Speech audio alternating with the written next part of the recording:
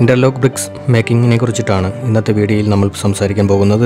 നല്ല ലാഭം ഉണ്ടാക്കി തരുന്ന ഒരു ബിസിനസ്സാണ് ഇതിനുവേണ്ട മെഷീനും കാര്യങ്ങളും നിർമ്മാണവും ഒക്കെയാണ് നമ്മൾ ഈ വീഡിയോയിലൂടെ പറയാൻ പോകുന്നത്. വീഡിയോ സ്കിപ്പ് ചെയ്യാതെ പൂർണമായിട്ടും കാണുക. മുന്നൂറ്റി അൻപത് കിലോ കപ്പാസിറ്റിയുള്ള ഒരു മെഷീനാണിത് മെറ്റീരിയലുകളെല്ലാം മിക്സ് ചെയ്യാൻ വേണ്ടിയിട്ടാണ് ഈ ഒരു മെഷീൻ ഉപയോഗിക്കുന്നത്. സാധാരണയായിട്ട് ഈ ബ്രിക്സ് ആറഞ്ച് സൈസിലും എട്ടഞ്ച് സൈസിലുമാണ് ഉണ്ടാക്കുന്നത്. അപ്പോൾ നമ്മൾ ഈ സൈസിലുള്ള ഡൈ ഇതിനു വേണ്ടി ആവശ്യമാണ്. ഈ മെഷീൻ ഉപയോഗിച്ചിട്ടാണ് നമ്മൾ കല്ലുണ്ടാക്കുന്നത്. ഒരു ദിവസം തൊള്ളായിരം മുതൽ ആയിരം വരെ കല്ലുകൾ ഈ മെഷീൻ ഉപയോഗിച്ചുകൊണ്ട് ഉണ്ടാക്കാൻ സാധിക്കും. ഡൈ സെറ്റിൽ ഇടുന്ന മെറ്റീരിയൽ ഇത് കല്ലായിട്ട് കൺവേർട്ട് ചെയ്ത് തരികയാണ് ചെയ്യുന്നത്. ഈ രൂപത്തിലാണ് നമുക്കിത് കിട്ടുന്നത്. ഇതിപ്പോൾ ആറഞ്ച് കല്ലാണ് ഈ കാണുന്നത്. ഇങ്ങനെ ഉണ്ടാക്കുന്ന ഈ കല്ല് വിപണിയിൽ മുപ്പത് രൂപയ്ക്കാണ് വിൽക്കുന്നത്. മുപ്പത് രൂപയ്ക്ക് ഒരു കല്ല് വിൽക്കുമ്പോൾ അതിൽ പത്ത് രൂപ ലാഭം കിട്ടും. ഒരു ദിവസം ആയിരം കല്ലുണ്ടാക്കി വിൽക്കുകയാണെന്നുണ്ടെങ്കിൽ പതിനായിരം രൂപ ഇതിൽ നിന്നും ലാഭം കിട്ടും. ഇനി എട്ടഞ്ച് സൈസിലുള്ള കല്ലാണ് നിങ്ങൾ ഉണ്ടാക്കുന്നതെന്നുണ്ടെങ്കിൽ അത് നാൽപ്പത് രൂപ വരെയാണ് വിപണിയിൽ വില കിട്ടുന്നത്. അപ്പോൾ അതിനനുസരിച്ച് നിങ്ങളുടെ ലാഭത്തിലും വ്യത്യാസം ഉണ്ടാകും.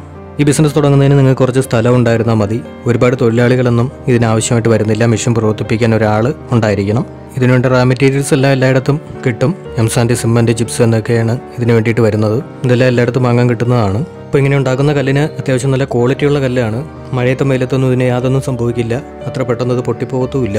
ഇപ്പോൾ ഈ ഒരു ബിസിനസ് വിജയിക്കുമോ എന്നുള്ള കാര്യത്തിൽ പലർക്കും ആശയക്കുഴപ്പമുണ്ട്. എന്നാൽ സമീപ വർഷങ്ങളിലായിട്ട് ഈ ഒരു ബിസിനസ് അത്യാവശ്യം വളർന്നുകൊണ്ടിരിക്കുകയാണ്. ഈ കല്ലിന് ഒരുപാട് ആവശ്യക്കാർ ഇപ്പോൾ ഉണ്ടായിട്ടുണ്ട്. അപ്പോൾ വേഗത്തിലുള്ള നിർമ്മാണവും ഗുണനിലവാരവും ഒക്കെ കൊണ്ട് തന്നെയാണ് ആളുകൾ ഈ ഒരു കട്ട ഇഷ്ടപ്പെടുന്നതും. അപ്പോൾ നമ്മൾ ഇങ്ങനെ ഉണ്ടാക്കുന്ന ബ്രിക്സിന്റെ ഒരു ഗുണനിലവാരം എന്ന് പറയുന്നത് അതിന്റെ മെഷീനെ ആശ്രയിച്ചിട്ടാണ് ഇരിക്കുന്നത്. അതുകൊണ്ട് തന്നെ നിങ്ങൾ മെഷീൻ തിരഞ്ഞെടുക്കുമ്പോൾ അത്യാവശ്യം നല്ല മെഷീൻ വേണം തിരഞ്ഞെടുക്കാനായിട്ട്. വ്യത്യസ്ത വലുപ്പത്തിലുള്ള കട്ടകൾ നിർമ്മിക്കുന്നതിന് വ്യത്യസ്ത തരം മെഷീനുകൾ നമുക്ക് ആവശ്യമായിട്ടുണ്ട്.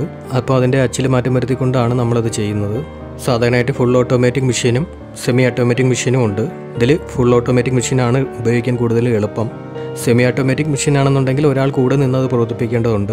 മാത്രമല്ല അതിന് കുറഞ്ഞ ഉൽപ്പാദന ശേഷിയാണുള്ളതും. പിന്നെ അതിന്റെ വിലയിൽ വലിയ വ്യത്യാസം വരുന്നുണ്ട്. ഫുൾ ഓട്ടോമാറ്റിക് മെഷീൻ ആകുമ്പോൾ സെമി ഓട്ടോമാറ്റിക് മെഷീനേക്കാൾ വില കൂടുതലാണ്. അതിനനുസരിച്ചുള്ള ഉൽപ്പാദന ശേഷി ആ മെഷീനുണ്ട്. നിങ്ങളൊരു ബിസിനസ് തുടങ്ങുമ്പോൾ മാക്സിമം സിറ്റിയിൽ തന്നെ തുടങ്ങാൻ ശ്രമിക്കുക. കൂടുതൽ ആൾക്കാരിലേക്ക് ഒരു ബിസിനസ് എത്തണം. അപ്പോൾ നിങ്ങളത് ആരംഭിക്കുന്നതിന് മുമ്പ് ചെറുതായിട്ടൊരു സർവേ നടത്തണം. ഇതിനിപ്പോൾ എങ്ങനെയാണ് ഡിമാൻഡ് നിങ്ങളുടെ ഏരിയയിൽ ഇതിന് ആവശ്യക്കാരുണ്ടോ എന്നുള്ള കാര്യങ്ങളെ പറ്റിയിട്ടൊക്കെ നിങ്ങളൊരു ചെറിയ സ്റ്റഡി നടത്തണം. ഇപ്പോൾ നിങ്ങൾക്ക് ഇതിന്റെ മെഷീന് വേണ്ടിയിട്ട് വലിയൊരു തുക ചിലവാകും. അതുകൊണ്ട് തന്നെ ബിസിനസ് തുടങ്ങിയിട്ട് പിന്നീട് ഒരു നഷ്ടം ഉണ്ടാകാൻ പാടില്ല. അപ്പോൾ ഈ ഒരു ബിസിനസ് ആരംഭിക്കുന്നതിന് രജിസ്ട്രേഷൻ ആവശ്യമാണ്. ആദ്യമായി നിങ്ങൾ നിങ്ങളുടെ ഫാക്ടറി രജിസ്റ്റർ ചെയ്യണം.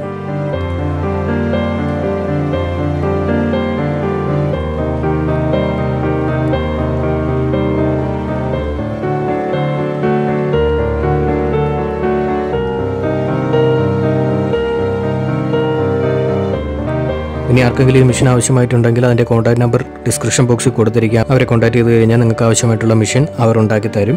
അപ്പോൾ അതുണ്ടാക്കുന്ന മെഷീന് ഏറ്റവും കുറഞ്ഞത് രണ്ടര ലക്ഷം രൂപ ചിലവ് വരും. ഇത് കമ്പനി നേരിട്ട് തന്നെ ഉണ്ടാക്കി നിങ്ങളിലേക്ക് എത്തിക്കുന്നതുകൊണ്ടാണ് ഈ ഒരു റേറ്റിൽ കിട്ടുന്നത്. പുറത്തുനിന്ന് എടുക്കുകയാണെന്നുണ്ടെങ്കിൽ ഇതിനേക്കാളും വില കൂടുതലുണ്ടാവും.